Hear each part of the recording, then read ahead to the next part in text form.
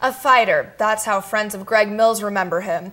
After battling cancer for three years, he died last week. Today, athletes from the CrossFit community fought through workouts to honor him. Athletes from all over the valley came together at CrossFit The Den in Medford this afternoon.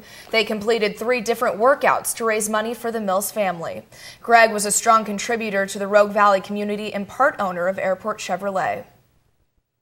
He was a great man, so many friends, influential, kind, thoughtful, generous.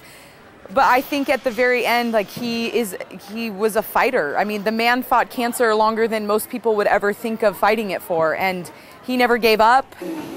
Nearly 60 athletes each paid $20 to participate. All the money will go to Greg's two daughters.